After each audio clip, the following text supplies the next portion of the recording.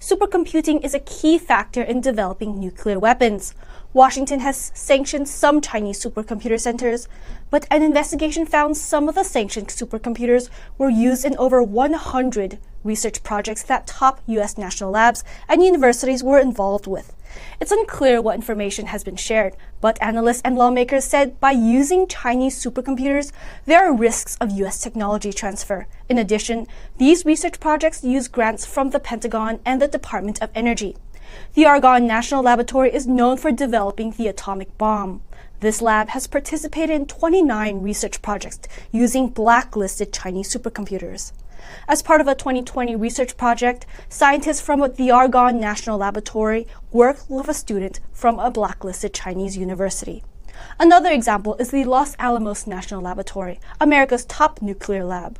The facility has been involved in over 20 research projects using sanctioned Chinese supercomputers. In a published research project in 2022, researchers from the lab worked with personnel from a blacklisted Chinese university.